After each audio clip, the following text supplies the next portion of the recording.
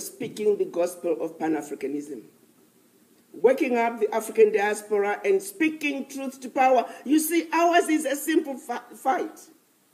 We simply have to state our truth. We simply have to state the facts. You see, those two are constant, they do not change. We just need to keep repeating our truth.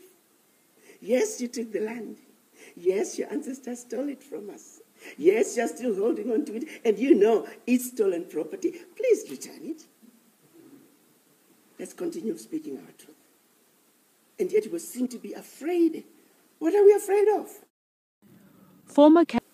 I am talking of multinationals that are taking billions out of Africa through safe havens, illegal mining, illegal trade in wild animals, exotic plants. We are fully aware that these crimes are being committed. But because invisible hand makes it very difficult for us to stand up. The richest continent on earth can no longer continue to be treated as the scum of the earth.